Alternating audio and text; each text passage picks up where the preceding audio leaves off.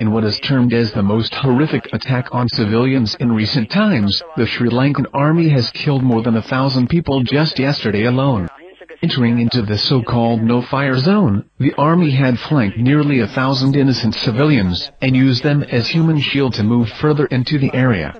These people were straight walked into minefields, and later got caught in the crossfire.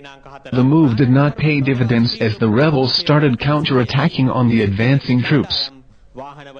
Suffering heavy casualties, the army quickly fell back to original positions, along with nearly 8,000 captured civilians.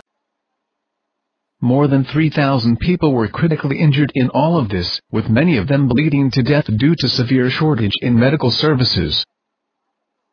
The Sri Lankan government has twisted the events and claimed that they had rescued nearly 30,000 people. It showed UAV footages of civilians, who were reluctant to fall into the army's captivity, and portrayed them as fleeing civilians. The scenes of Sinhala army personnel rejoicing the ordeal of the Tamil civilians, summed up the mood in the government camp. The UN also has bought into Sri Lanka's twisted story without verifying details, which does not come as a surprise to many observers. Renowned human rights activists, such as John Charlton have brushed aside UN's Human Shield accusations on rebels, they claim that it is virtually impossible for such a small rebel force to control hundreds of thousands of people while also fighting the Sinhala army.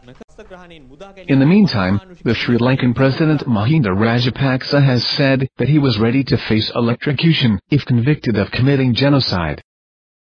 Richard Anderson, Web News Service, Melbourne, Australia.